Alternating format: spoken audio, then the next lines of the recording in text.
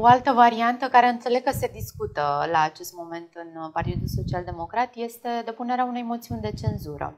Se teme Partidul Național Liberal nu, nu ne de temem, uh, o este, moțiune de cenzură nu ne temem. acum, în situația asta? Nu ne temem, este un uh, demers uh, constituțional, ține de practicile democratice. Uh, Eu cred că un partid democratic și care respectă regulile constituționale nu poate să se teamă de un demers constituțional. Partidul Social Democrat poate să depună moțiunea de cenzură, va fi dezbătută, votată, respinsă și viața merge mai departe. O moțiune de cenzură trece în momentul în care guvernul nu mai are majoritate. Când guvernul are majoritate, moțiunea de cenzură rămâne un exercițiu de democrație și de imagine. Acum că USR Plus a retras uh, Dar nu s-a sprijinul retras. guvernului, USR Plus nu s-a retras. premierului.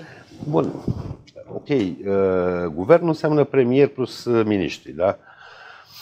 Eu nu cred că USR Plus uh, ar vota o moțiune PSD, pe de o parte. Pe de altă parte, v-am spus, retorica, PSD, uh, retorica USR este o retorică la caldă.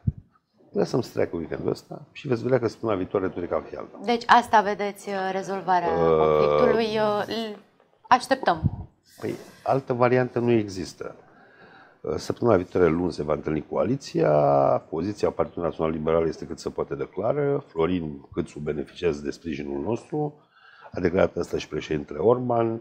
Știm că este și în consens cu dorința președintelui Iohannis, cu care Florin Câțu este în parteneriat pentru modernizarea României. UDMR susține în continuare uh, atât uh, prim-ministru cât și guvernul. Iar USR-ul spune că își dorește continuarea guvernei, dar fără Florin Câțu. E, Uh, aici Mai mult, e- am văzut că există anumite persoane din USR care ne-au, ne-au făcut propuneri de prim-miniștri. Au fost unii care l-au, promis, l-au propus pe colegul meu, uh, domnul Ilie Bolojan, președintele Consiliului Județean Bihor, alții care au propus să se întoarcă la guvernare președintele Partidului Lovic Orban. Deci tot Deci, din PNL. Uh, Da, bine, păi uh, așa spune protocolul guvernamental. Dar mie îmi place că USR-ul ne caută prim-miniștri. Treaba domnilor este să caute ministrul al sănătății. Interesant este și faptul că mi-amintesc, da, uh, jurnalist fiind, uh, că nu erau de acord cu Ludovic Orban, da, la început uh, și acum oarecum s- și-a schimbat părerea USR Plus.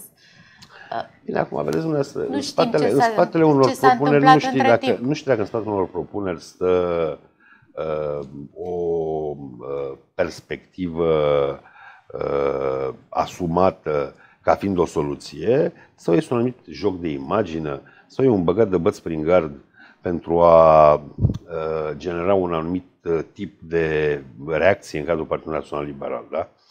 Dar am început spunându-vă că Partidul Național Liberal e un partid, partid matur. Orice divergență am avea în interiorul partidului, orice uh, lucruri ar trebui să clarificăm în interior, în momentul când discutăm de lucruri importante, cum este stabilitatea României, guvernarea uh, și așa mai departe, în momentul ăla Partidul Național Liberal acționează omogen.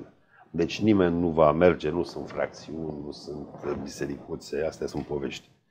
Deci, da, există dis- dezbatere în PNL, există dispute pe marginea politicilor publice, viitorului partidului și așa mai departe, dar toate astea încetează în momentul când lucruri importante ca stabilitatea României, stabilitatea guvernului și prioritățile guvernamentale sunt puse în pericol uh, și e fire să fie așa.